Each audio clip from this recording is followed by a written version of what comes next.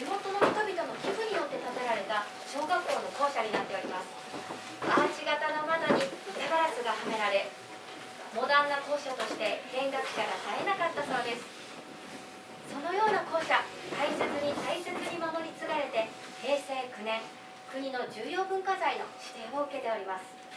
それでは授業を始めます。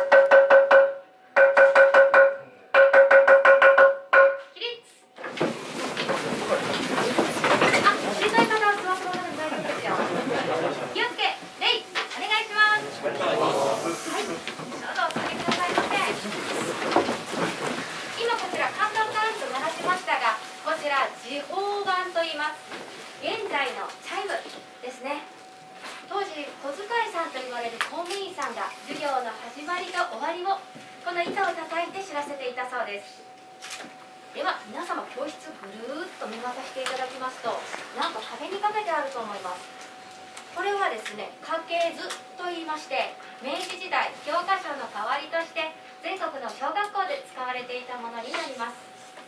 この家系図はアメリカから持ってきたものです。アメリカのチャートというものを元にして作られております。ではこの家系図を使って何教科か授業を始めます。ではこちらの単語図からいきますよ。単語図右から読んでいきます。さあこちら何て読むでしょう。これ見えますか？あそうですね。チラチラ。これ本ですね。本です。ではこちら見えますか？関数お素晴らしいですね。ではこちらどうでしょう？お素晴らしい。どうも今日は前の方からよく声が聞こえてます後ろのお坊ちゃんお嬢ちゃんお願いいたしますね。見えますか？では最後。雪を踏むと書いてあります。何と読むでしょう？あ素晴らしいです。ありがとうございます。今日は優秀な生徒さん前に来てますね。はい素晴らしいです。では続いて算数です。寄せ算並びに引き算呼び声。こちら呼び声と書いてありますがまあ寄せ算というのは今の足し算ですね。足し算と引き算の呼び声。今でいう呼び声といったら今でいう九九みたいな感じで何度も何度も唱えて言うことを言います。こちら19足10と書いてありますがどういう意味だと思いますか？19たす1019たす10だと思いますやはり皆さん。思いますかね？ありがとうございます。実はですねこれ1たす9は10という意味になるんですよ。そうなんです。さすがに変なとこあるんですけどそうなんです読み方が1に9たすの102に8たすの103に7たすの10と読みますでは皆様今から3に7たすの10まで一緒に言っていただけたらと思いますいいですか3はい1に9たすの10 2に8たすの10 3に7たすの10はいありがとうございます。素晴らしいです。では頭が引き算になります。何から1を引いたら9残りますか？10ですね。はい。そうなんです。読み方はですね1引いて9残るというそうです。足し算も引き算も10が基本となっておりましてこちらの呼び声は何の時に使っていたのかっていうと1に2つの10 2に8たすの10と言ってそろばんを弾いていたそうです。はいこちらの3用数字は明治時代に入ってきました。それまではこちらの漢数字や余波を使っていましたがこの3用数字が日本に入ってきたおかげで大きな数が計算しやすくなったりそして筆算そういうのができるようになったりととても便利になった時代です。では今日はスパルタでいきますよ。今からテストを行います。今日実はテストがあって大丈夫ですか？いいですか？こちら明治19年月並み試験問題初等5級生。月並みというのは毎月行われていたテストのことです。初等5級生。今でいう小学校1年生です。皆様どうも1年生には見えないので多分大丈夫かなと思います。はい。就寝科今でいう道徳のような授業になります。1番朝起きたる時はいかにせばよきか。朝起きたら何をすればいいですか？という問題です。皆様今日は朝何をしてきましたか？顔洗は素晴らしいですね。いいですよ。ちょっともう後ろのフォーカスも全然。朝ごはん食べます。大事ですね。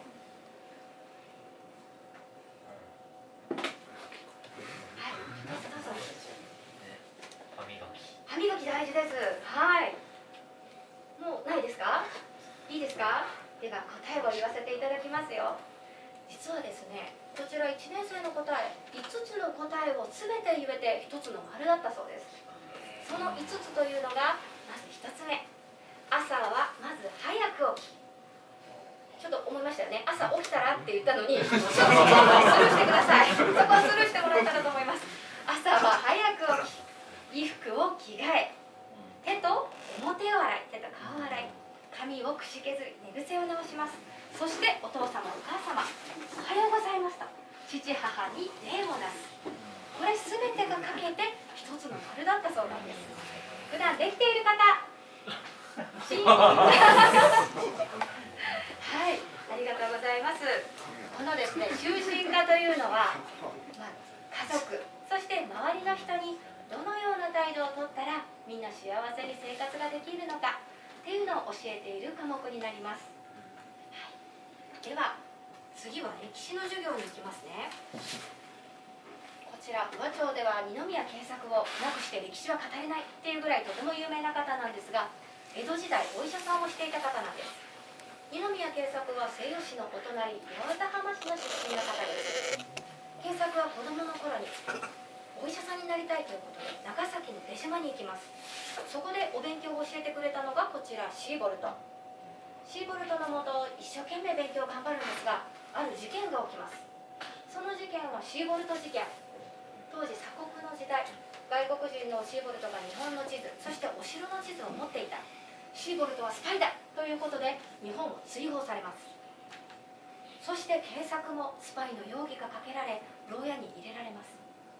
釈放された後は宇和島藩の命令によってこちらの宇野町で22年間医業を開業しました。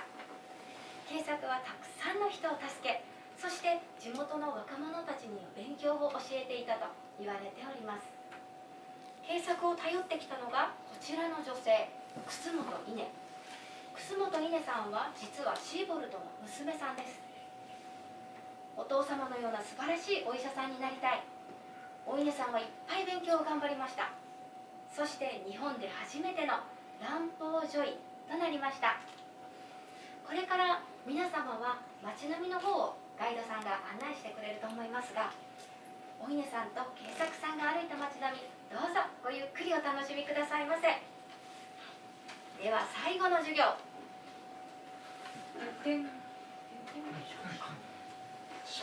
そうです消化でもしましょうか。こちら皆様の知っている歌の2番の歌詞になります。ち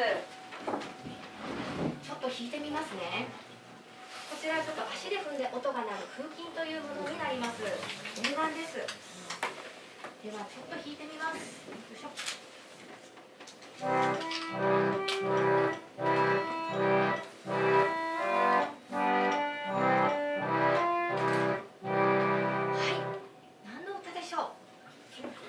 素晴らしいです。蝶々です。これはですね蝶々の2番の歌詞になります。はい。では後ろのお坊ちゃんたち見えますか？大丈夫ですか？ではこちらの2番の歌を窓が割れんばかりの割れても構いません。割れんばかりの大きな声で歌えれたらみんな卒業とさせていただきます。3はいと言ったら入っ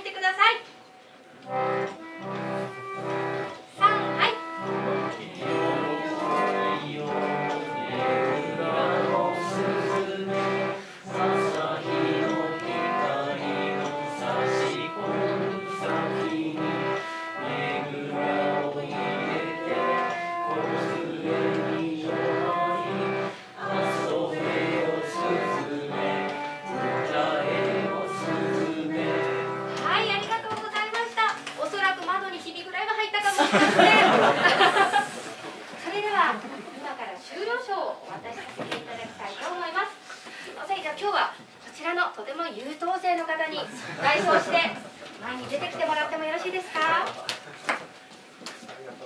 いじゃあ修了証あなたは海明学校において明治の授業を体験されましたのでここに称します。令和3年12月4日愛媛県伊予の国宇和町宇野町。海明学校おめでとうございます。ありがとうございます。